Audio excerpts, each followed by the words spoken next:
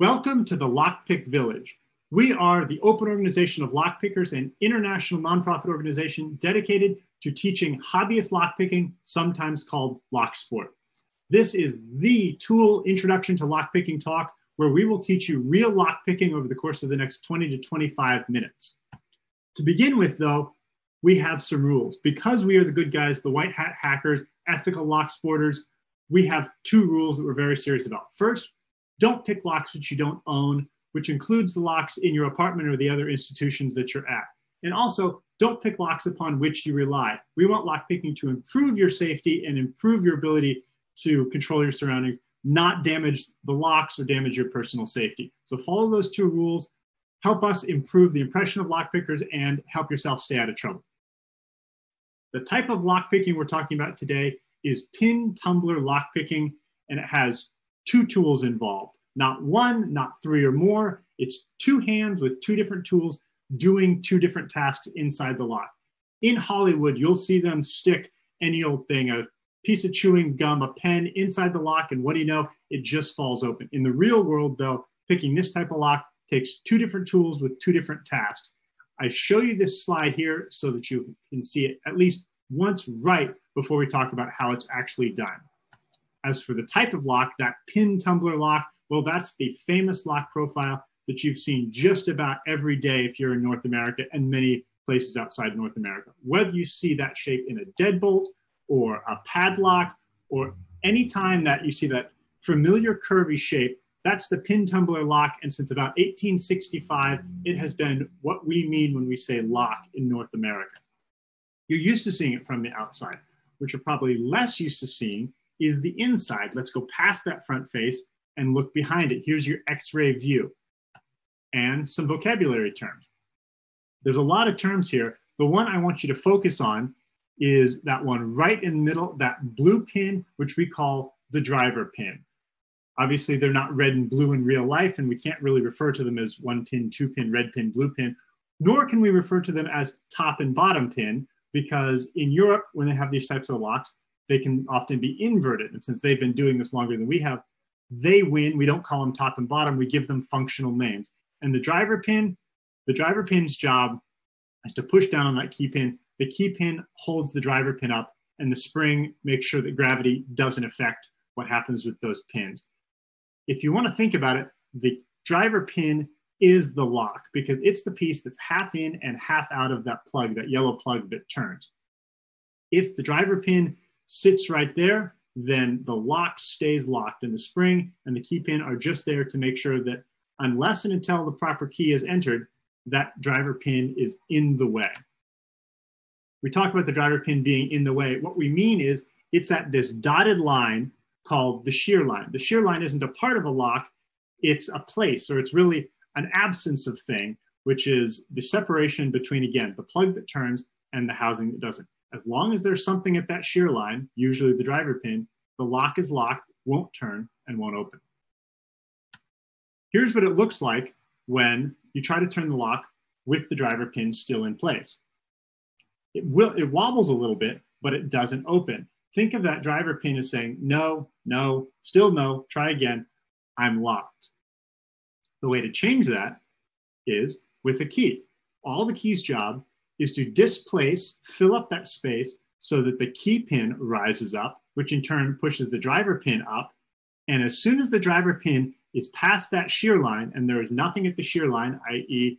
the key pin is all the way, the key pin is all the way in and the driver pin is all the way out, there's nothing in blocking the plug, the plug can turn and the lock can open. If you take multiple driver pins, multiple key pins, and multiple springs, and you all put those in a lock body, you have a real, honest to goodness, bought it at the hardware store lock. This is the lock at rest. A few things you'll notice about it. First, the driver pins are all in line at the shear line, and they're all identical. Also, the springs are all identical up here, even though they look like they're different sizes, they're just doing what springs do and filling up space. The key pins, the key pins are where the difference comes in Key pins, some are short, some are tall. That's where the variation lock to lock comes from. And by definition, the key for that lock is the reciprocal of each of those key pins. notice that the pins don't fall all the way down to the bottom of the lock because there's a hole, the hole that each pin is drilled into is just the right size to make sure that even though this area down here looks like it's just empty space, it's actually a little um, notch so that the pins don't fall all the way down to the bottom and that there's room for the key. Now, if you have the right key for the lock, it slides in, you'll watch the driver pins go up and down, the key pins go up and down, and when it's finished, there's a nice clear shear line. You pull the key back out, everything returns to its resting state, and the lock is locked again. One more time, the springs give way, and then they push everything back down to its resting state, to its new resting state with a clear shear line. If you have a key that is almost right, you have a lock that is almost locked. In this case, this key is right in the first position, third, fourth, and fifth position, but the second position, it doesn't lift the key pin quite high enough, which means the driver pin isn't lifted quite high enough, and there is still one driver pin at the shear line. This lock is almost open, but almost is not good enough. It's still locked. You can have the alternate problem, where now we have a key that is cut a little too high in that second position, which means it's pushed that key pin up above the shear line. Key pins are just as happy as driver pins to block the shear line and prevent that lock from opening. But of course, where we're going, we don't need keys. So if you came here just to learn about keys, then you can go, you know everything there is to know about pin tumbler keys. If you want to learn about lockpicking, then kick your brain into overdrive because this is the complicated part here. In a perfect world, lockpicking would not be possible. Now, that wouldn't be a perfect world for all of us that love teaching lockpicking and love doing lockpicking. But when I say a perfect world, I mean mathematically perfect, where things roll off the production line exactly the way they were designed. Here is a schematic view of a lock. We've taken that plug and we've taken all the springs, key pins, and driver pins out of it, and we're just looking at the holes that they go into. You'll notice that those holes are perfectly in line, which means when you try to give that plug a turn after you filled it with springs, driver pins, and key pins, each one of those driver pins that is right on the shear line, every single one of them says together and in unison, no, stop, go no further. The right key isn't in here. This lock will remain locked. And they agree on that. And that would be great if such a lock existed because it would be unpickable. Reason being, the only way to open the lock would be to lift each and every one to the right height at the right time. And if you can do that, then you have what's called a key. In the real world, however, no lock is perfect. So what you see here is the downsides of mass production. Cheap locks, not bad locks, just inexpensive locks built with different priorities in mind, cost effectiveness being one of them. So here you see the chipping, the marring, the misalignments, the rusting that comes from a real world piece of equipment.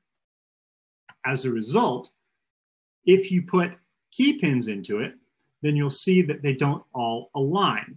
In fact, up here at the top, the holes have drifted fairly far to the left, and down here at the bottom, the holes have begun to drift to the right. Of these one, two, three, four, five, six pins, only about one of them is in the center where it's intended to be. All the rest of them wobble a little bit.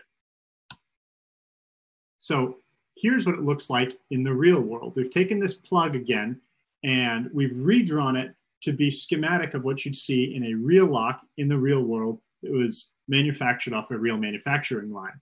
And you'll see that all the holes are still there, but now they wander a little bit we put this dotted line here to make it a little bit more obvious. And you can see that the one, two, three, fourth pin here is the most out of line. If they are not perfectly in line, then by definition, one of them has to be the most out of line. In this case, in this particular example of a lock, it's the fourth pin that is the furthest to the right, which means if we were to give that plug a turn, well, it wouldn't open because it's not that bad. But what it would do is it would stop on the one and only one driver pin that is actually in the way, which is the one furthest to the right. So you can think of it as five pins, but now instead of agreeing whether the lock should stay closed, four of them are silent. They don't even notice the, the plug is being turned. One and only one of them is saying, stop, go no further. In other words, you've paid for five pins worth of security and you're only getting this one pin worth of, worth of security right now because of manufacturing tolerances in the lock. So it stands to reason that if this is the one and only one pin that is blocking your progress, if you could reach inside the lock with some sort of lock pick and lift up on that key pin, it would lift up on the driver pin. And if you manage to get that driver pin above the shear line, then nothing would be stopping the lock from turning and it would turn. How far would it turn? Not a lot, just until it stopped at the next pin that was in the way. On this diagram, it might be the first one. You have to figure that out for yourself, lock by lock, pin by pin. Remember, these are not intentional. These are manufacturing defects or manufacturing tolerances, uh, but that's the nature of hacking. Given an inch or given a fraction of a millimeter, we will take a mile. This allows us to pick each pin individually using only one lockpick. So let's go look back at that attempt without a key. If you turn the plug, the plug turns a little bit and then stops on that driver pin. We call that the binding pin. If you can find the binding pin, then your job is solve the binding pin. Lift up on it just enough such that the key pin pushes the driver pin above that shear line and watch what happens, something magical. The plug turns under the driver pin and the driver pin can't go home again. One more time. Once the driver pin goes above the shear line, the door closes behind it and it traps it up there. In other words, it's mechanical autosave. It's like a ratchet mechanism, not, not designed that way. It's an effect of the manufacturing tolerances, and we're going to exploit the heck out of it to allow us to set multiple pins in a row until there are no more to set and the lock falls open. Here's what it looks like in practice. We're first going to tension the lock. If there's no tension, then you're not picking the lock. You're just lifting up pins and they'll fall right back down. You need to tension the lock to create that bind in the first place. Once you've created the bind, your next job, find the bind. Go through the pins sequentially, lift up on each one till you find one that has a little bit of a grind, crunch, creak, something, anything other than the squishiness that says it's not the binding pin, it's just the spring. This may take a little bit of practice, keeping track of where you are in the lock and learning how to feel the subtle differences between the pins. That's the skill of lock picking. But as you get better at it, you'll be able to find each binding pin, push it up just the right amount, get the click, get the feedback, get the little bit of turn of the lock that tells you it's set, and then you'll go on to the next one. Do that for as many pins as there are in the lock, and the lock will just fall open. This is not like a big safe lock where you got to chunk it open uh, at the end because you've been turning since the very beginning and taking away each and every obstacle to the turning. So if you just put the tension in, start turning, that same constant steady pressure will serve you all the way through the end. And every time you set a pin, the lock will turn just a little bit more until when you've removed all the pins in the way, it will just fall open. Now let's take a look at one of the most common problems in lockpicking that will stop you cold, especially if you don't know to be on the lookout for it. We call it overlifting, and that's when you replace one problem with another by putting the key pin up above the shear line where the driver pin normally is. You see this person picking along had a short one in the fourth position and another short one in the third position, which means when it comes time to pick the last one with a little bit taller key pin, they lift it too high and it gets bound above the shear line. The only way to get out of this position is to release your tension down here, shake the etch a sketch, and lose all your progress. So, just like getting a haircut or salting the soup, you can always go back and do more. It's very hard to go back and do less. So, light hands, small movements. Remember how small these pieces are and avoid overlifting. You'll save yourself a lot of trouble. And of course, if you do get stuck, that's okay. Shake it out, shake your hands out, shake the lock out, start over. You'll do better next time. We've talked a lot about what this hand is doing using the lock pick, but let's talk about the unsung hero, the turning tool. A lot of very intelligent pickers will tell you very seriously that in all practicality, the turning tool is what picks the lock because the turning tool is responsible for putting that all important, constant, steady pressure on the lock. As far as how to apply that pressure, well, first, we like using that big finger, the precision digit, and put it far out on the, on the turning tool so that you can use leverage and amplify any feedback you get. Next question, how much turning pressure? And I will tell you honestly, there is good reasons to do light pressure and there's good reasons to do heavy pressure. And someone who tells you one or the other isn't wrong, they're weighing different things. We at the Lockpick Village tend to tell novice lockpickers start off with light pressure. That has a lot more to do with not damaging the locks or the equipment than it does with being the most effective way to pick locks. A lot of very good lockpickers tend to use quite heavy tension, but very carefully modulated heavy tension. They use the right amount of tension to get the feedback from the lock.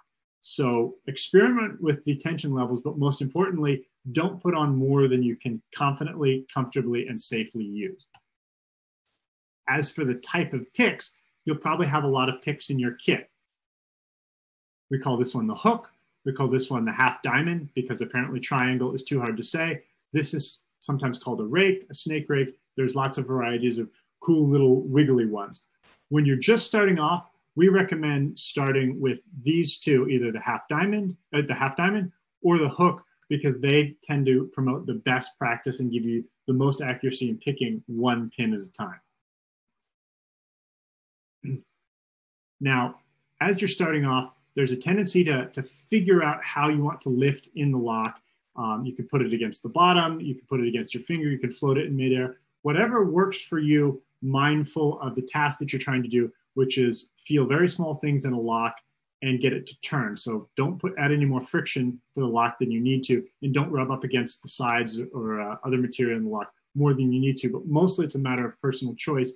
Except that if you're doing something like this rocking lifting, I want you to make sure that lifting doesn't turn into crowbarring. These are precision tools, and if you're really digging, especially if you're using really heavy tension uh, and you start getting really firm binds, there's a tendency to start crowbarring and the, the pick starts to bend, which means it's no good for anyone. If these are your tools, then that's too bad because you're out of tool. If there are tools, it's almost worse because then not only can we use it, but no one else can use it either, and it makes it harder to put on lockpick villages like we love to do. So, as you're picking, be gentle. Remember that these are precision tools. I put up the picture of the bunny here, not because I think you're children, but because I know I've thrown a lot of complex information at you, and if I show you a picture of a crying bunny, you'll remember be gentle, ease up, use the tools with precision. Now, if you're just starting lockpicking, there's a great activity that everyone would benefit from, and that's this. Pull the turning tool out of the lock. Just for this one time, don't try to pick the lock. What I want you to do is feel the tension. Think of this as a tension taste test, or as a, uh, as a springiness taste test. Reach into the lock with the pick of your choice and on that one pin, just lift up on that pin. This, this is especially great if you have a lock. You've taken all the other pins out and there's just one to focus on. But you can do it with other locks too with a little bit of cleverness. Just lift up on that pin and feel what a springy pin feels like without any tension. Then, and only then, add the turning tool so that you have a little bit of tension.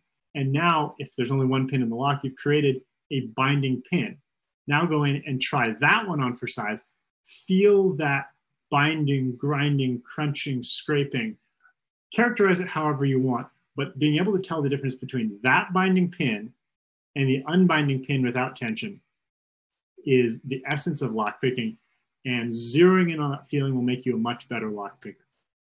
Of course, the most important part of lockpicking is practicing. And at TOOOL, we've gone to a lot of effort to create practice locks specifically designed for learning lockpicking if you're at one of our lockpick villages, we have multiple locks that have some of the pins pulled out of them. So you can go from a one pin lock all the way up to a six pin lock and learn as you go. But you don't need TOOOL locks to practice. You can get locks at your hardware store.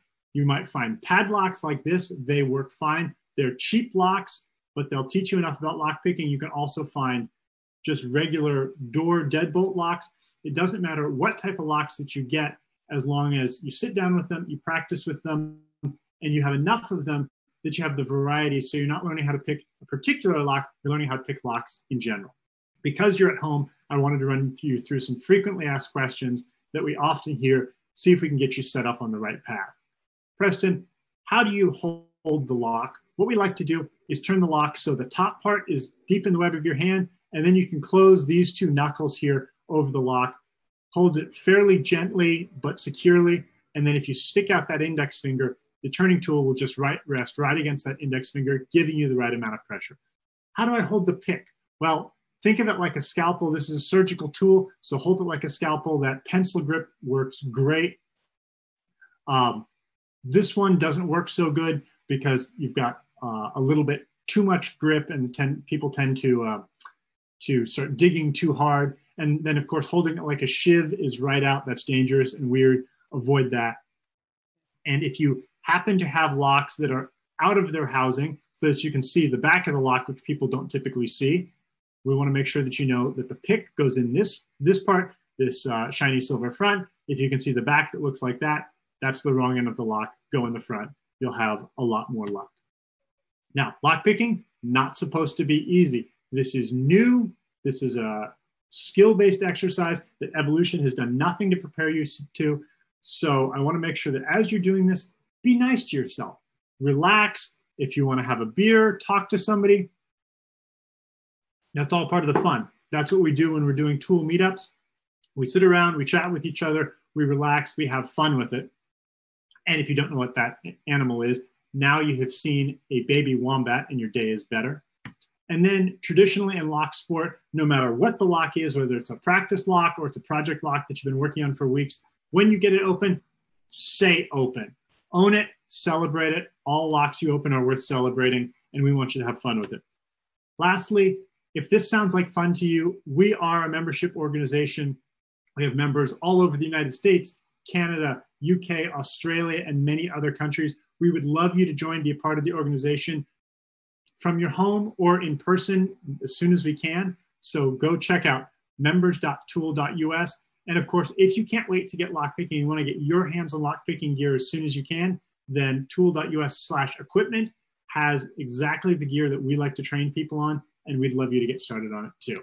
So happy lockpicking, practice, be gentle, celebrate your wins, and we'll see you at the next Lockpick Village.